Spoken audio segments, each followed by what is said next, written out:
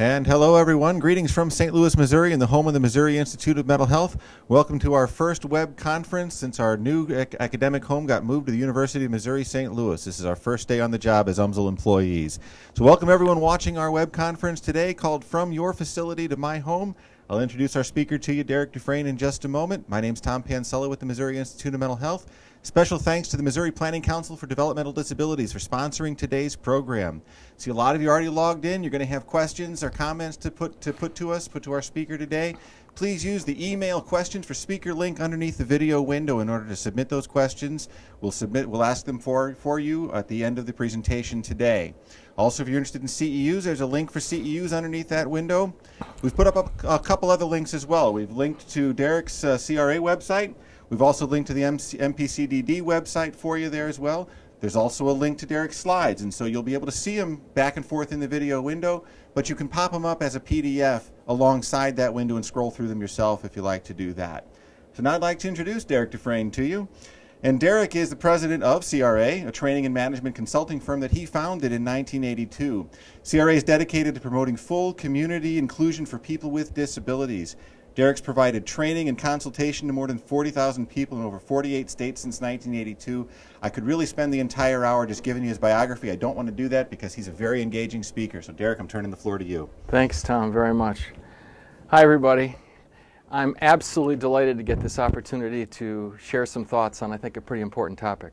But before I start, I want to echo my thanks to the Missouri Planning Council on Developmental Disabilities that took a risk in turning me loose for an hour. Number two, I want to thank my business partner, Mike Mayer, who's very much a part of this and is with me, I know, here today, as well as uh, Dick Caverman from Caverman Fremoth that uh, has helped with these uh, wonderful PowerPoints that you're going to see. As anybody that knows me know, there's two things about this thing today that may cause me to internally hemorrhage. Number one, uh, I don't do PowerPoint. I'm not quite a PowerPoint virgin, but I'm certainly a PowerPoint novice. And number two, I usually move. And you can't see, but my feet are in cement, so therefore I will not be able to do anything other than stand here and uh, try to, uh, to make this look pretty. So I wanted to start with those thanks. I want to start with a quote Each one belongs somewhere each one ought to have to him what is a home. A home in the true Christian sense. It is very certain that if you take a disabled child away from his home and his community, not only will he lose interest, but his friends, his neighborhood will lose interest in him as well. That quote, with minor changes, was written in about 1865 by Samuel Gridley Howe, who was the first director of the first public institution for people with disabilities in this country. Now, the first director of the first public institution in this country saw the dilemma that we're talking about in 2010. It is 2010. And 2010, in our field, the field of disabilities, has some very significant things this year. Number one, it's the 20th anniversary of the signing of the Americans with Disabilities Act. But there's a couple of other dates that I find that people have somewhat lost sight of in this. Number one, this is the 35th anniversary of the signing of Public Law 94-142 that guaranteed a free and appropriate education for every child with a disability. It is also the 60th anniversary of the opening of the first sheltered workshop in this country for people with disabilities. It's about the 140th anniversary of the opening of the first institution for people with disabilities in this country. What I'm going to say this afternoon I don't know if you're going to agree with or disagree with. I am going to try to base what I say not only on philosophy but on fact, not only on emotion but on education. And I realize that there's a possibility of pulling the plug in mixing church and state, but I want to say a quote uh, from the Old Testament that would that you were hot or cold, but because you're lukewarm, I spew you out of my mouth. And if there's anything I'm seeing that's going on in this debate, is that we're talking around the issues. And I think we need to get to the core of what this is really all about. And I think that there are some elements of this that we don't have to agree on, but we at least need to acknowledge.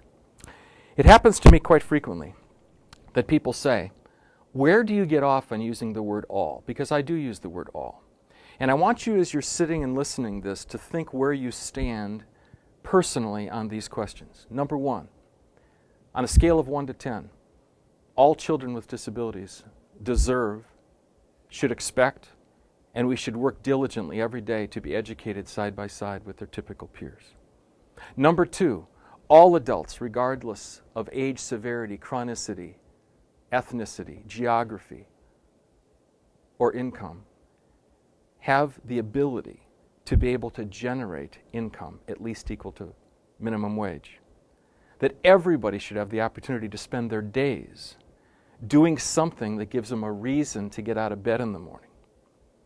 That everybody should have the opportunity not to live in a facility, but to live in a home that I control, that I have the keys to.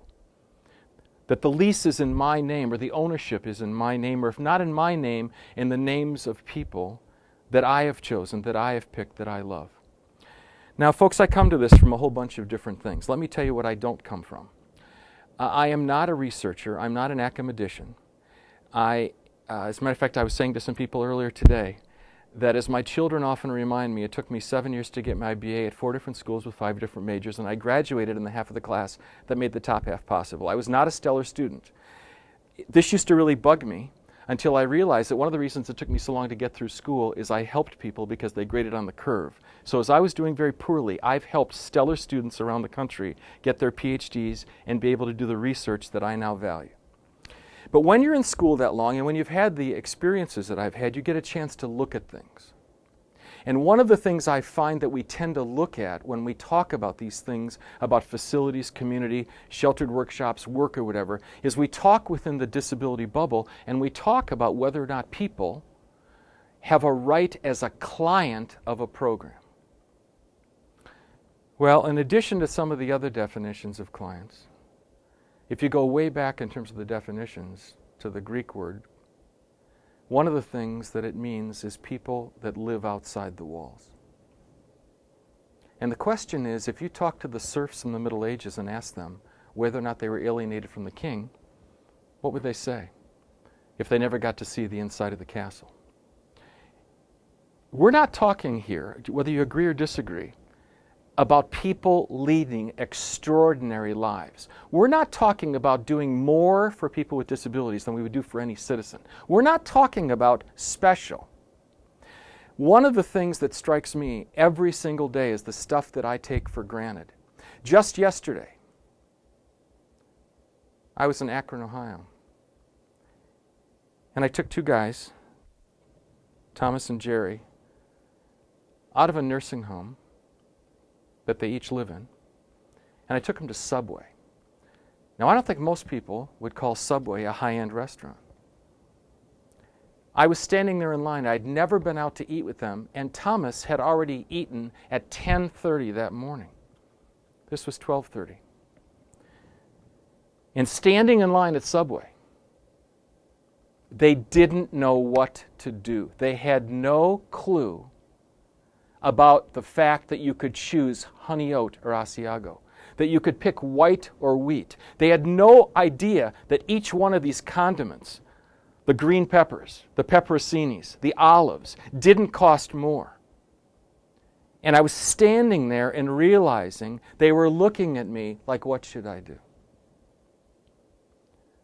But more importantly, what I realized is that they hardly ever get out they don't know about community. I want you to think about the language that is used. We take people into the community. Where are they living? The moon? When I go home tonight, I'm not going to say, Hi, honey, how are things at the facility? And the reason I'm mentioning this is where I get all, and I was not a student of history, I've already told you this, is from the Declaration of Independence. We hold these truths to be self evident that all men are created equal and endowed by their Creator with certain inalienable rights, and among these are life, liberty, and the pursuit of happiness. There's the gift of life, there's the gift of liberty, and there's a pursuit, no guarantee of happiness. And so, the reason that I'm interested in talking about this with you all is that we've got to move this beyond the discussion of the disability bubble and have got to start talking about from whence do these rights come. Because at the core of all of this is not about programming, it isn't about choice, it's about rights. Now, I thank my lucky stars every single day that I live in a country where I'm competent by default and that I am a citizen by my birth. Somebody has to take those two things away from me. And the only way they, they can't take away the first because I was born in this country. And the second, they have to go to court to take away. We are talking about people that have been diminished. But families didn't do the diminishing. See, this isn't really about anti family or anti uh, institutionalization as much as it is anti citizenship. That if we are willing to allow to use less than the word all, it is an incredibly slippery slope. And it's an incredibly slippery slope because here's what people say to me Do you really believe that all children with disabilities are going to be educated in a regular classroom and are going to do well? And I say no. Do you really believe that all adults are able are, are going to make it in terms of owning their own business or getting a job? No, I don't. Do you really believe that everybody's going to be able to make it in the community? No, I don't. And then people say, See, I told you. See, I told you. Not everybody's going to make it. And my response, which took me a long time to formulate and feel comfortable with, is I don't think everybody's going to make it. I just don't know who. And when we start segmenting people according to diagnosis, according to history, according to placement, we have taken the place of God. We have taken the place of somebody that I don't at least feel comfortable doing. It doesn't mean everybody's going to make it, we just don't know who. Now, when we talk about this and we get beyond the issue of talking about what is it we do for people, we have to look and see where does the law go when it is at its core. In 1999, the Supreme Court of this United States passed something called the Olmstead decision. And twice within the last eight weeks, I have been incredibly privileged to be able to sit and to listen to Samuel Bagenstos from the Department of Justice, the Civil Rights Division, and I've heard it from his own words, something that in my 36 years in the field I never thought that I would hear. And what I heard him say was that the Department of Justice, for a very long time, has focused on what's called CRIPA, the Civil Rights of Institutional Persons Act, and is focused on making institutional conditions better. We need to be sure people are safe, they're healthy, they get programming, they get active treatment. By the way, I love the term active treatment. I didn't know there was any other kind. I don't know if I'd want passive treatment, no treatment. I guess I'd prefer active if you gave me a choice.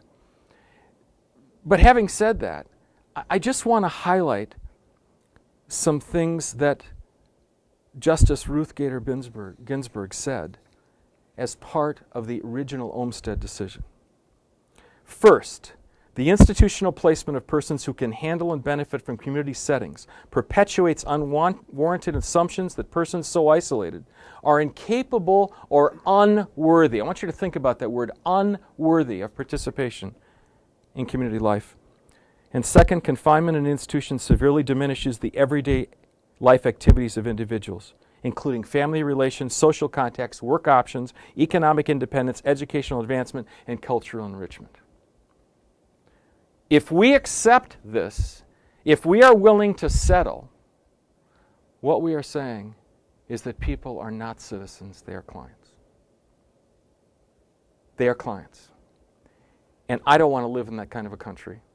And I don't think people with disabilities deserve an extraordinary life, but they deserve an everyday life. And that's what Justice Ruth Bader Ginsburg was saying that people deserve an ordinary life.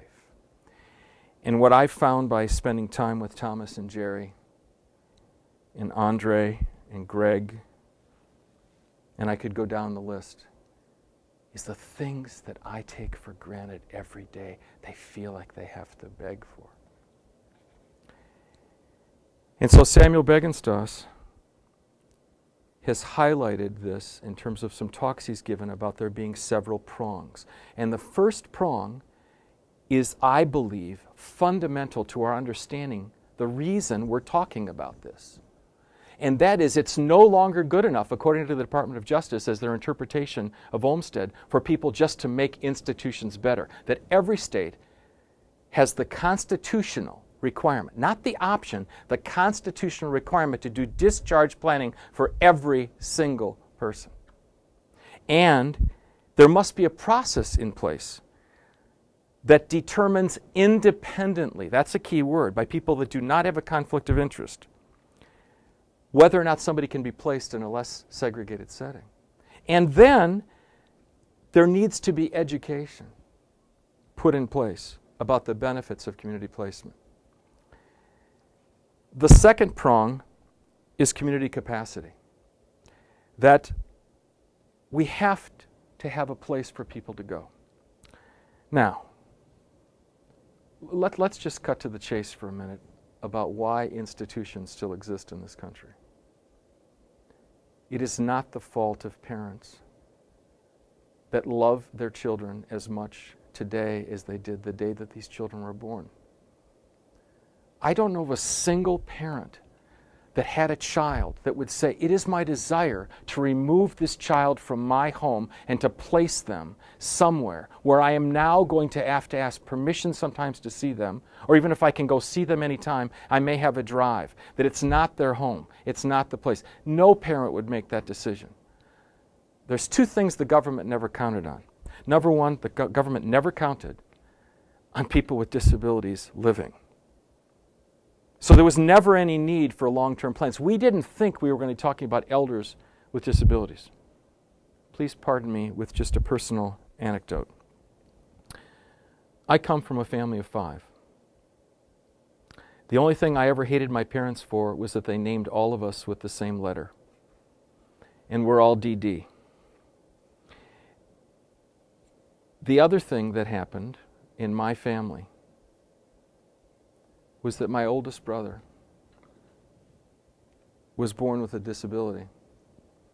And the physician that delivered my brother told my parents with absolute certainty, because professionals always know, that these types don't live very long. And when my mother, God rest her soul, see, moms always ask the killer questions. I don't care what anybody says, it's always the moms that ask the killer questions. And evidently, my mother said to this learned physician, and by the way, I know now that this physician graduated in the same half of the class that I did. Because this physician was not prepared for my mother's question, because my mother simply asked the killer question. And the killer question is what if he lives? What if he lives? Well, evidently, the good doctor re- recovered and said to my parents, You know, these types don't live very long. He probably isn't going to live beyond age seven. But if he lives beyond age seven, he'll always have the mind of a seven year old. Well, the learned physician made a huge error.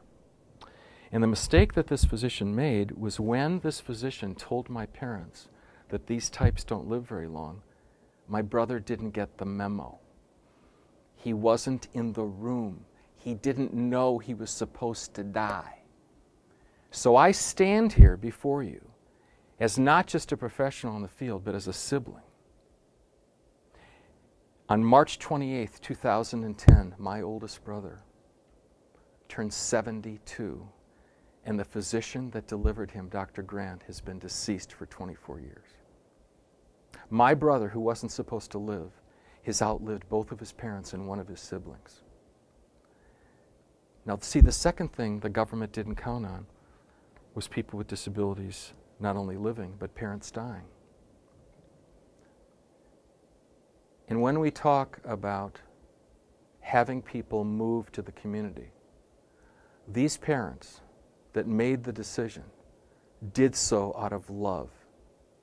They did not do it out of lack of concern or insensitivity or wanting to remove this person. They did it because some professional told them the only way to get this service is to yank this person out of your home and to take them and rip them from the fabric of community and have them go and live here. Now, I'm not letting the community off the hook. the other reason that institutions exist, in addition to families, is staff and jobs and unions. And everybody knows about that stuff. It's like the elephant in the room that we don't talk about. And we need to talk about. Whether we agree or disagree, we have to talk about who are we making this decision about? Because my discussion with families usually is they got their information from staff. They don't live there, they don't know other than what they see in their visits, and they get their information from staff. And the question is, what do staff know?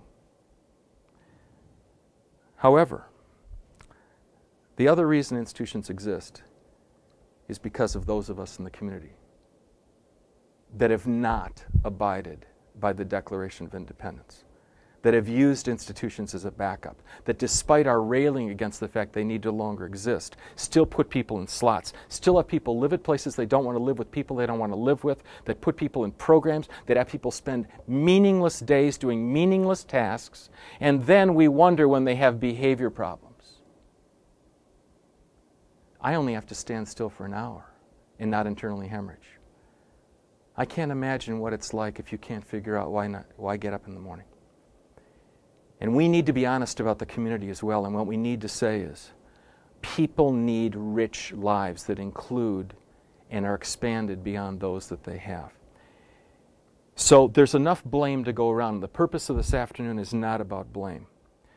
We have to focus on the fact that, in addition to the Declaration of Independence, the federal government is now saying to states, you can't just make your institutions better. And I know from having talked to parents that my parents, if they were alive today, would be 93 and 95. I grew up with the generation of parents that placed their sons and daughters. I get this. I've sat in on conversations. I talk to parents all the time. Whatever we agree or disagree on, it's not going to be about whether or not these parents want their kids to have the best life, that they care about their kids, they love their kids to death. But part of what we've done is we've helped parents kill dreams. We've helped parents diminish. We've helped parents and family members not think about a brighter future because this is what we've said you're capable of. You're only capable of being a client. And people have to beg for things that you and I would never put up with for one of our own loved ones. And we have to change the debate because you see, the debate is not about choice.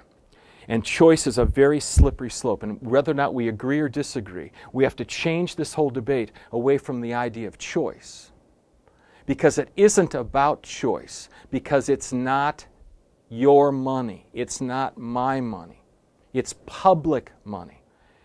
And there's all kinds of debates that are going on around this country about what's the purpose of public money. And that's the debate we need to have. What should public policy be about this? And anybody that's lived in a community that's closed, a school, a police, not, not so much police, but a fire station, knows that public officials have to make public policy decisions and they have to take into account the community, but they also need to take into account this is public money. And is this public money an investment or is it an expense?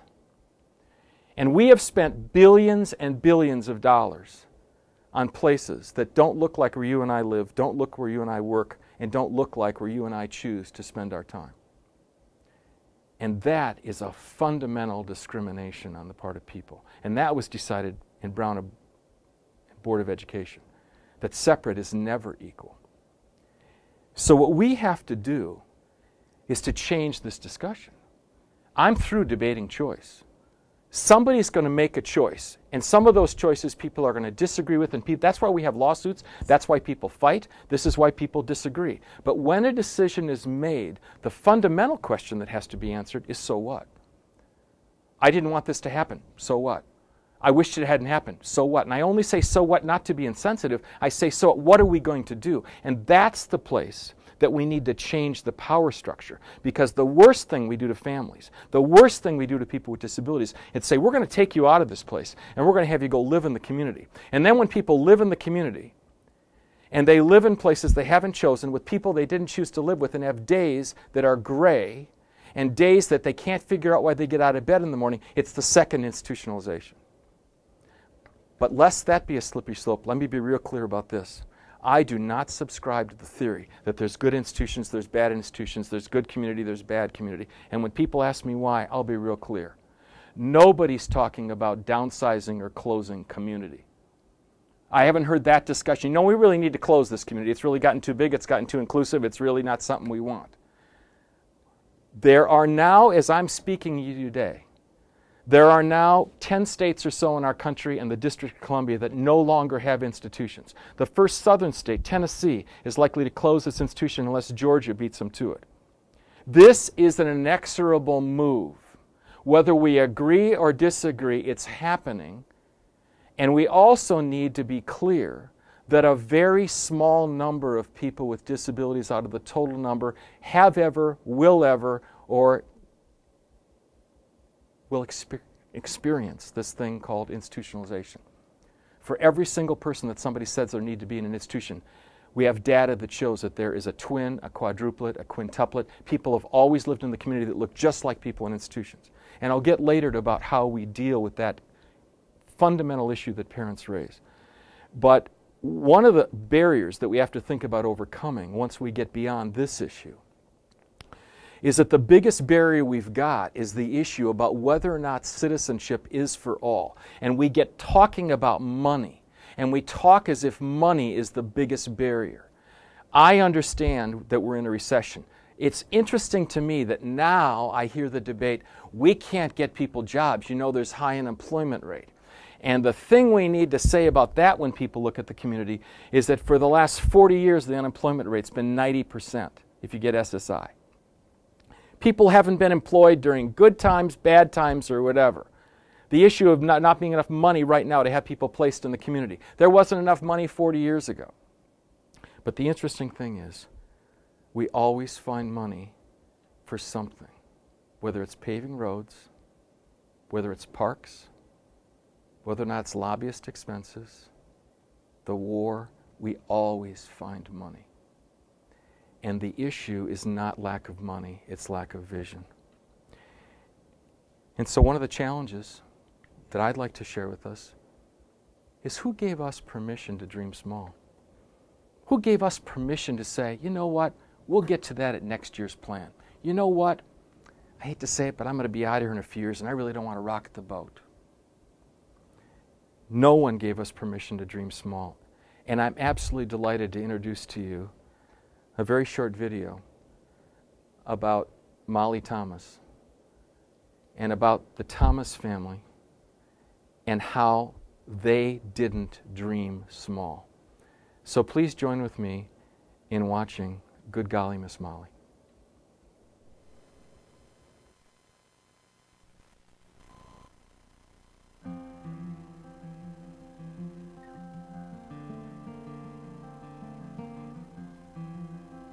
Molly was placed in the Marshall Hab Center in 1951. I love this on her application form.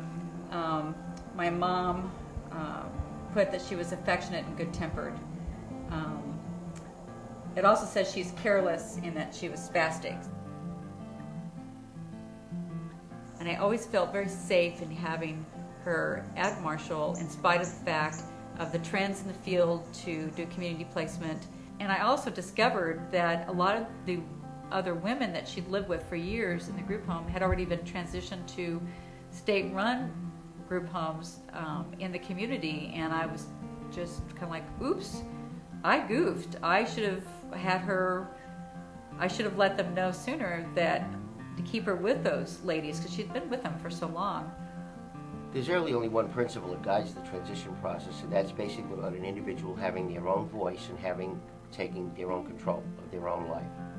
Uh, too many times, I think we have people, uh, whether it's in the, the field of developmental disabilities or in any social system, where somebody is a recipient to rules and regulations and basically doesn't have control. Prior to making this decision was to get buy-in and approval from my siblings, which was not easy.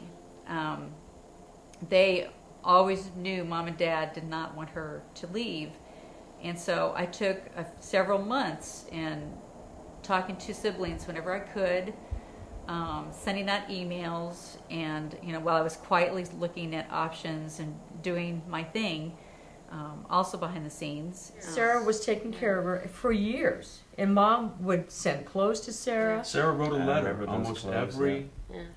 Every month or a couple of Remember times mom a year. packing up stuff to take. Uh-huh. to Oh, college. yeah. And and I remember uh, mom would mention, yeah, I got a letter from Sarah. Yeah. And and mom and dad would sit down and read the letter about what's going on with Molly, and and they would phone her every now and then and get updates. And Sarah was her caretaker for Oh, years yeah. and years and years, what, 20 years, something like that? Yeah, that was a real consistency in her life because I don't, she never knew us And she never wanted to leave and go for rides or anything. It was Yeah. always would make her car sick and be upsetting. And I thought that her real consistency in her life was Sarah. But what really amazed me was how good the process was. The bridges were built, the bridges that need to be put in place to support a person in the community or anywhere that person is were all of a sudden just appeared, fell into place, whatever um, analogy you want to use.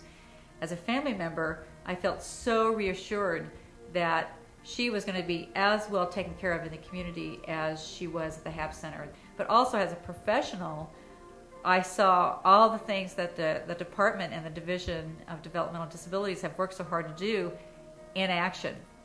You're bringing up something that does make Molly's situation rather unique, and that is that she has an advocate. Yeah. That is not just a personal or a personality presence in the decision-making down there at the, uh, the institution, but has the knowledge and experience to say, in the language of the institution, this is how we want this done. This is what we want done. Don't give me this stuff about everything will be all right because I know. And that is so intimidating to a bureaucrat. Well, Molly's first move actually went very well, except that she had gotten sick in the HAB Center before the move, and she never really recovered from that. Um, she would just get um, recurring illnesses every three to four weeks, like clockwork, and was in the hospital every month um, from July through d- January. We're, we're at my home, which is Marisi Home ISL. Um, this is where my family and, and I live, and we have the employees coming around the clock for, for Molly and the, the other people that live here with disabilities. There are three uh, individuals with disabilities that live here. I'm not going to say that Tina's this miracle worker here, uh, although I'm very happy. Um, I think Eleanor, staff, and Marshall were great. They were very happy. You know, the perfect storm that led to her recurrent illnesses every month have also led to the perfect sunny day, rainbows, to where she's healthy, happy, and um, is just amazing the change. This is a different transition in and of itself because she's got a personality that I'm not sure I've ever seen before. And um, it's fabulous. It's fabulous. She's really a lot like the rest of us more than ever. She is just a um, smart aleck, funny, sarcastic um, Thomas. And I can't wait for other brothers and sisters to see this because she's she's hilarious. She's she's funny. It takes a while to get to some, know somebody, their, their character, and who they are, and what they like, and what they dislike. And as far as my philosophy, it's just uh, taking what you know and, and just building on that. And, and work with every individual with disability. You treat them like you would uh, your, your grandmother, or your mother, or your sister, or, or your daughter, because they are somebody's sister. And I've always said that you treat them like you would want your loved one treated. And you offer the things that you would want your loved one to see. And what's really unique about Molly and some of the individuals that are here uh, from different environments is when something is new, it's like a, a two year old for the first time that sees something they've never seen before. They just light up and they get real excited about it. And, and it's, that's neat. that's rewarding for me is to introduce them to things that maybe they haven't seen or have done before that that I'm able to do. Like like with Maverick. You know, I don't know if she's ever thrown a dog or ball for a dog to play fetch before. I don't know if she's had that opportunity. But with the occupational therapist, we're looking at aquatic therapy, you know, swimming and different things. And, and what we'll do is just try different things and, and see what she likes and what she responds to and just build on that. the communication systems. We're working on different communication systems so that she can let us know when she wants to get up or what she wants to eat and giving her those choices. I think with Molly, um, in individuals, you really have to look at their personalities and treat, uh, give them a, a, reason to thrive, you know, a reason to um, do things, motivation, reason to motivate them. Um, and I think if they're happy, I told Tish, I said, you know, I want to find out what she likes and she doesn't like. I was ready for her to get healthy so we could get to work because I wanted to know what we could, you know, do to build on that. I may leave in a year or a few months to go back to the farm, but yet I don't want Molly to leave this place. And we'll have to Skype. Yes, and um, but I want people to come, be a part of her life here that know her through me and can, can become part of her. I've got uh, a coworker whose daughter saw the, the pictures and via Facebook and just said, "What a beautiful person this is."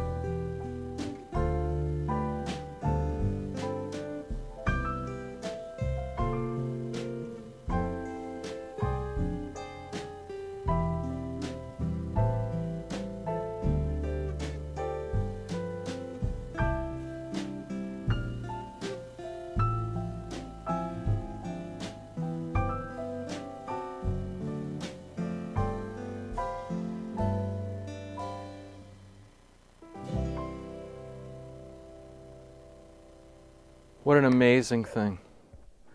This is a family that didn't dream small. But the interesting thing is knowing Tish Thomas and knowing a little bit about the family is that there were doubts even by somebody that worked in the field. And this is why there's nothing wrong with saying, I don't know about this. I'm worried. I'm scared. I don't know. I've never met previously the Thomas parents. But it's hard for me to believe, seeing that smile of Molly, that a family would not have been able to rest their head and say, She has a life. And that's what this is really all about, is offering just an ordinary life to people. So, what are some of the barriers? I'm going to go through this fairly quickly, but one of the first things that we need to identify is that there's a lack of object permanence. And in a nutshell, what this means is I know what I know, but I don't know what I don't know. And so sometimes I found this in my own family with talking with my father about my brother. He believed that everybody could get a job except my brother. But he believed everybody could live in the community because my brother always lived in the community. So it depends on from where you sit. And my simple point is we have to be careful about object permanence because just because you or I don't know about it doesn't mean it isn't happening. Second is the null hypothesis theory. I think I took philosophy maybe twice or three times, maybe the same class. But one of the things we learned in philosophy was about the null hypothesis theory. Now, I was a member of the debate team, and a part of the debate team is that you posit a hypothesis and you prove or disprove that hypothesis. This is what I'm finding as the debate has become. That won't work. He'll die if he goes to the community. He'll never get a job. You can't do that. See, the problem is you can't argue with that because there's no hypothesis. That's going to be important when we get into the steps to just identify you don't know that. And the null hypothesis theory ends up putting us in circles. And one of the ways it puts us in circles is that Pogo was right. We've met the enemy. But it isn't about people with disabilities needing to get ready to live in the community. How many more studies do we need to show that people don't need to be ready? It isn't the idea of train and place, it's place and train. We know that people do not transfer skills from one environment to the other. So, the greater your intellectual disability, the greater difficulty you have with cognition, the fewer experiences you have, the more a skill learned over here is not going to transfer over here. This is why people within institutional settings and segregated settings view the person from the inside of that place out rather than the planning being community referenced or rather not the person can make it. It isn't about whether or not people are ready we're the ones that need to get ready to accept that all people with disabilities, all, if we believe what we previously said. And when we say all, it really turns planning on its head. And it turns traditional planning on our, its head because the first question I find happens in traditional planning is people spend a lot of time saying, How do we do that? How do we do that? We don't have enough money. We don't have enough staff. We're not able to do that. You can't do that. How is the caboose and not the engine of planning. And we need to call it for what it is. It's not where you start with planning, it's right above why. And right above how is what and when. Because if I can suggest anything to those of you that are the technocrats listening, the people that have to do this, and the people that are running agencies, please, please, please don't put managers in charge of this. Put leaders in charge of this. Leaders, as I heard one time, don't stand taller, they see further. Leaders don't need to know how to do it. They need to say, This is what we're doing. And then you want to have a manager or managers that can carry it out. Very important, but we need to be clear about what we're talking about. So, my business partner Mike Mayer and I have drunk from the cup of Jim Collins' Good to Great. And we have both read and reread his stuff, have listened to his tapes, have really tried to take to heart what he says. And one of the things he says is you have to have a BHAG, a big, hairy, audacious goal. How about this in our field? Every person, regardless of level, severity, chronicity, ethnicity, age of onset, or income, community is for all. It's not an option, it's imperative. Now, I got really good news for you. You can be agnostic or atheist about this and still apply. Because it doesn't matter if you believe what I just said. It really doesn't matter. It's taken me a long time to come to this, but it doesn't matter whether or not you believe that or not. The only thing is, are you willing to try? Are you willing to test the hypothesis? And the good news about hypothesis is you don't have to believe it's going to work. So when we start talking about this, the action based planning steps look like this. The first and most important thing is who. I'll get to who in a second. Then what are we going to do? When are we going to do it? Then how? And then why? Most of the time, what happens is that that is turned on its head, and we start with why are we even talking about this? And then after the why, it's how do we do this? And then, oh, you can't be talking about now, this is too quick. And then what did you say again? And then who are you going to have involved in this? And I'm suggesting that that's backward planning in its truest sense. We need to turn it upside down. So let's look at some of these steps real quickly. The first is who? Well, you need to have the right people. When I describe the right people in the urgency gene, I was talking earlier today, the best way I know to describe this is people that yell at microwaves are people you want on your team. People that yell at microwaves people that believe that post offices should stay open 24 hours. People that believe that we're never moving fast enough. And they become part of saying, This is the seat that I am willing to be in. Collins talks about the issue of seats. I don't have time really to talk about it. He, he talks about the bus. And for a long time, I remember thinking, are people in the right bus? Are we going to the right place? Is it the right destination? The train's leaving the station. He's changed my thinking forever because what he says is that it isn't just about the right bus, it's about the right seats. And sometimes the reason transition fails for people is the people that were in the previous seats that caused the person not to move, that were part of the issue, end up being in the new seat, still being in charge of it. Now, notice I didn't say we were throwing people off the bus or under the bus. We're just saying some people may need to change seats. And then we have to be in the right business, and that's about focus. This is about focus and saying, this is what we're going to do. But the who that you have together is critical, because think about this. How are you going to know exactly how this is going to pan out in the beginning? I mean, it'd be interesting if Columbus, when he left you know, Spain would have said, you know, my GPS is in the shop. If Lewis and Clark had said, you know what, I heard that there's a mountain range. We can't really do mountains. I don't like heights. At some point, you have to say, we're headed there. And that is when you get into, after the who, the what. And the what is about being crystal clear about your goal, about having a clear vision, about adopting some principles and values. I'm going to give you some. Everybody will live in a setting of their choice within their financial limitations with somebody they chose to live with. We will separate housing and services. The people that run the services shouldn't own the housing. Everybody will have the opportunity to generate income at least equal to minimum wage.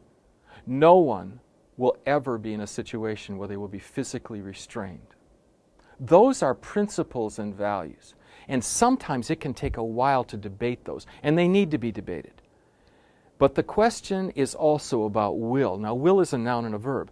It's a noun, the will to do it, and it's the will, we will do this.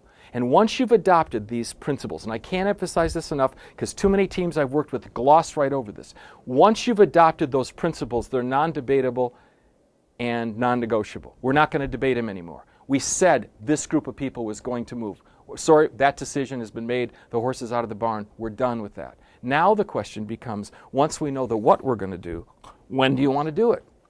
This is urgency with purpose. And this is, you know, you've got the right people when it's never fast enough, but at the right speed. There's this sense of we're not moving fast enough, but wait a minute, we have to take into account some of the things that we need to be aware of is transition shock. And when people move from one setting to another, we now know, and there's data to prove this, that people experience transition shock that is the same as the death of a loved one, returning from war, divorce. This is very significant about what happens to people institution to community, community to community, community to institution, it doesn't matter. And we don't talk enough about this. There is transition shock that happens, which is why we need to move at the right speed. But the most important thing is we have to overcome inertia. I didn't do very well in school, but I think the law still applies that says an object in motion tends to stay in motion unless acted upon by outside forces that cause it to be at rest. An object at rest tends to stay at rest unless acted upon by outside forces that cause it to be in motion. The hardest thing to overcome when an object is at rest is inertia. And in order to overcome inertia, you've got to have thrust. I'm going to get on a plane later today. I don't want the pilot to get on and say, you know what, I figured out we could save 10% in gas if we kind of cruised for a while rather than took off at 400 miles an hour or whatever. You have to have thrust. And then finally, there's the 80 20 rule. I don't have time to go into this in detail, but too much of the time, what we try to do is to do everything perfectly. And the fact of the matter is that 80% of what we do produces 20% of our results, 20% of what we do produces 80% of our results. The key is to do the right 20% at the right time. And the right 20% is we will never do harm to somebody. We will do no harm. We will make sure people have wraparound. We will make sure that people live in the community. But most importantly, most importantly, our plans will truly be person centered. Notice I didn't say system centered. Notice I didn't say sort of person centered. And notice I said person centered. Now, the person is both the person being supported, but there's other persons involved. There's the family, there's the direct support staff, there's the agency, there's other people, but the person is the customer. The person is the person that deserves our best, deserves our best every day. And that involves then getting into plans and schedules and resources. And the biggest issue is you can't have somebody leading a team that doesn't understand that you need to have flexible actions and concrete outcomes. Because things are going to change. Somebody's going to get ill. Staff is going to leave. The state's going to cut back the budget. And at some point, you have to say, so what? And the other thing you need to say when people say, why? Why would you do this? Why would you do this? Is because all means all. That's the reason. Because if we believe all, we need to say all. And we need to keep saying all because at the point at which we say, well, wait a minute, let's wait. Along with all, I just want to make one quick point here. All kinds of organizations and states and advocates even make the mistake of saying this. Let's start with the easy people. Let's start with people that we know we're going to have quick success. Well, first of all, what happens is the good news is people move quickly. The bad news is you don't learn what it's going to take to, to support people that have more significant needs. if all means all, then start with some all that includes people that people don't believe can make it in the community, and then provide them with the supports they need.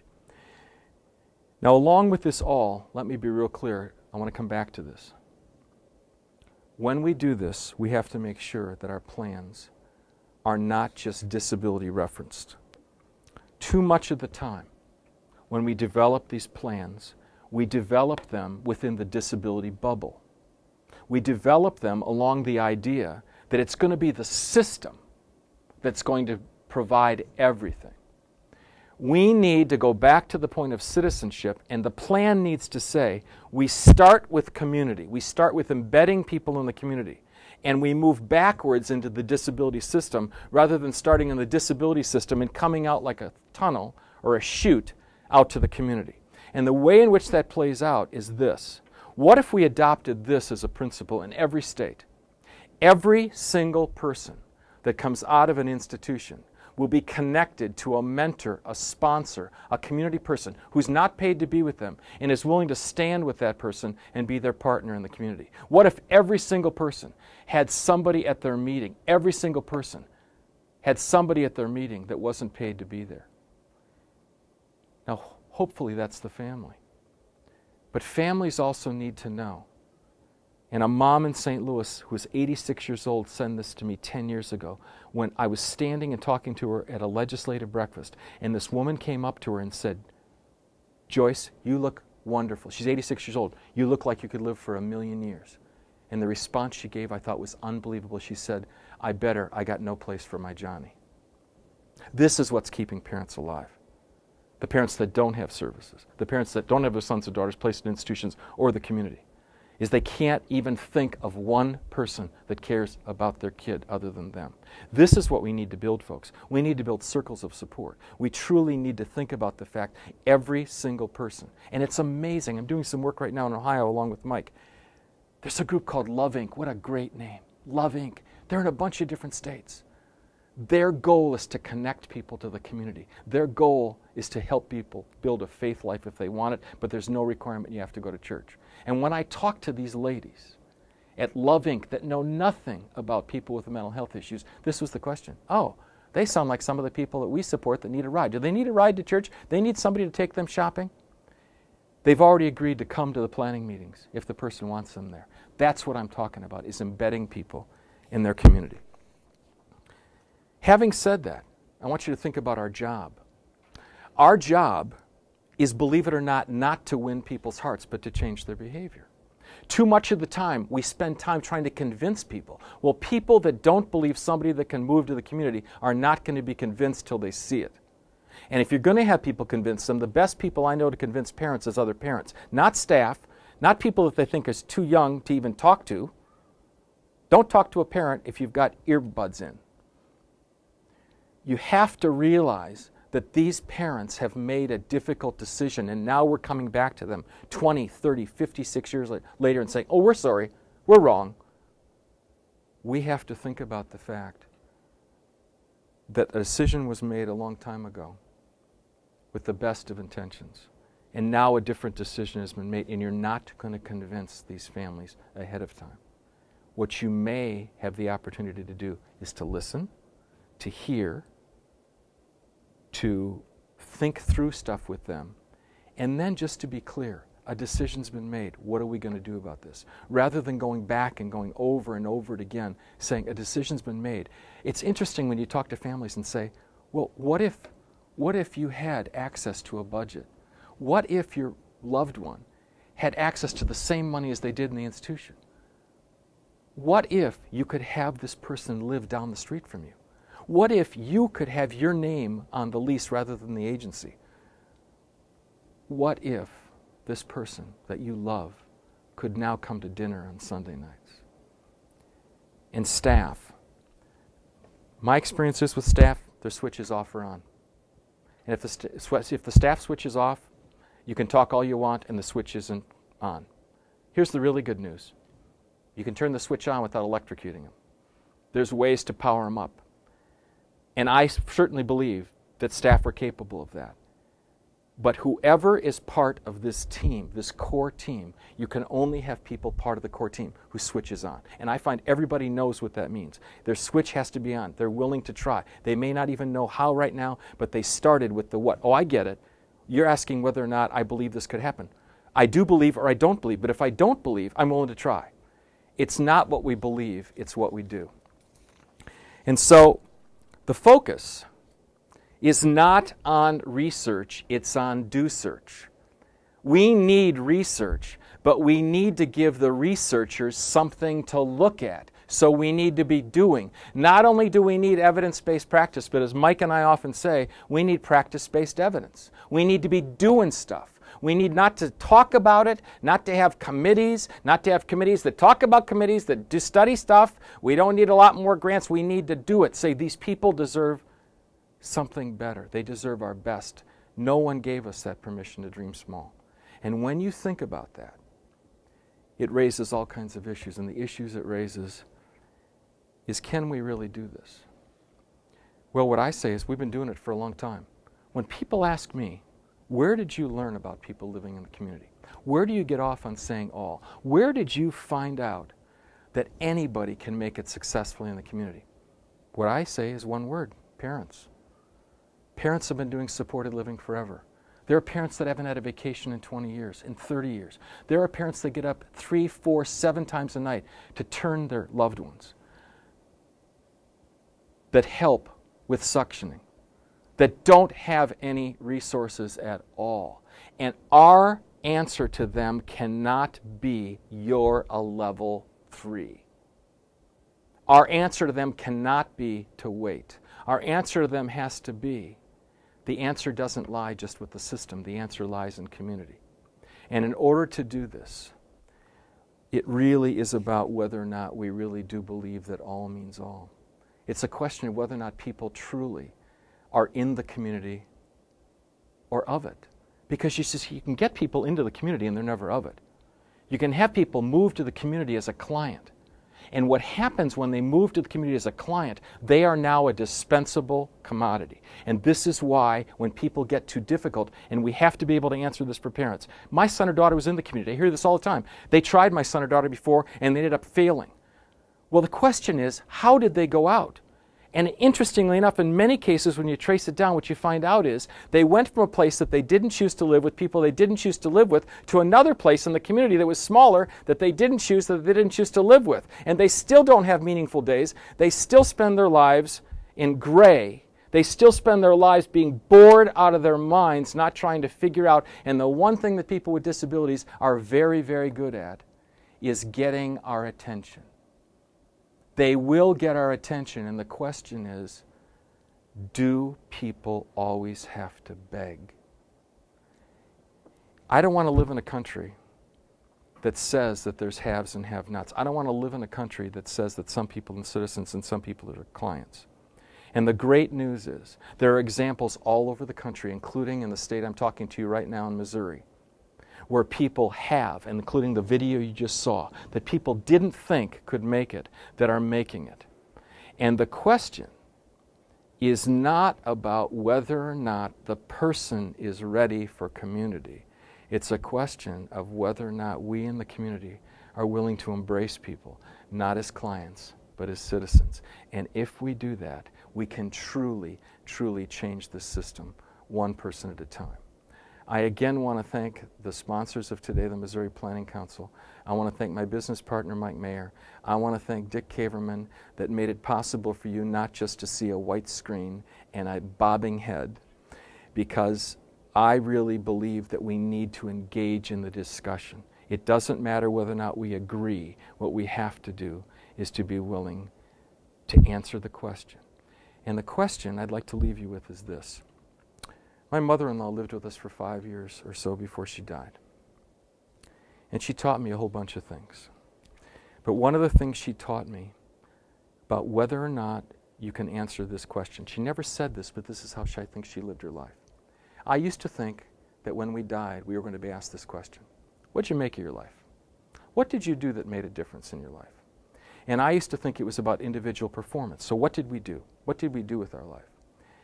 After seeing my wonderful mother in law, Mama, and seeing what she did in terms of her own family of eight children, 17 grandchildren, now 18, I now know that that's the wrong question. And the question I think all of us have to be able to answer every day is not what we made out of our own life, but what do we make out of the lives of others? And that's why we must act.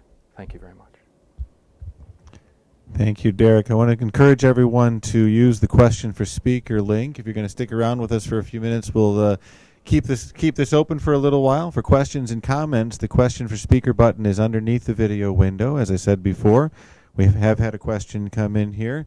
Also, if you're interested in CEUs, that link will stay open for a while. We also are aware that a few of you were having a few technical issues, and so we will be posting this up to a YouTube page on behalf of the Missouri Planning Council for Developmental Disabilities, and so we will send you that link as soon as that becomes available. In the meantime, Derrick, someone is asking if you would please describe the strategies to use when guardians or families are not interested in pursuing transition from the HAB Center to the community. How can you move their thinking? Well, first of all, I'm not going to be so naive to think that I can move somebody's thinking. What people believe, they believe. It's a set of beliefs that comes about because of our values, our history, our knowledge, what we know. So, my experience is personally, I don't really know necessarily how to move people's thinking. What I want to do is to first of all try to explore do we have any common ground? And the example I will give you is I spent some time four years ago or so talking to some parents at the Jacksonville Developmental Center in Illinois. And these parents were adamantly opposed, adamantly opposed to their loved ones living in the community. And they were not aware that it cost $142,000 a year for the loved one to spend time in that facility. And when we stopped talking about place and started talking about supports, the discussion changed. Because here's what I said to them If two of you families here had access to the money that the institution did. And if you could sit down around a kitchen table with your family and loved ones and say, What would we do? What services would we buy? What would we put together? It changes the discussion. And so, Tom, my response to you is I don't think I'm going to change their thinking. And here's what the data shows 80 to 90% of families, when you ask them, if they voluntarily had not chosen to move their loved one to the community. If a decision is made because of court order, policy, whatever, to move, 80 to 90% of those families are opposed. And no matter what you say, information doesn't help, time doesn't help, arguing, debating, listening doesn't help. That's what the data says. However, if you follow that family once their loved one is placed in the community, starting at about a year out, usually the first year is fairly rocky, starting out about a year, 80 to 90% of those families said they never would go back. They never would go back. And about the same thing is true of people with disabilities, except a larger number of people with disabilities want to move than their families want them to move. That's so what I say is we have to talk. And my, my big thing is let's talk. Let's have a conversation.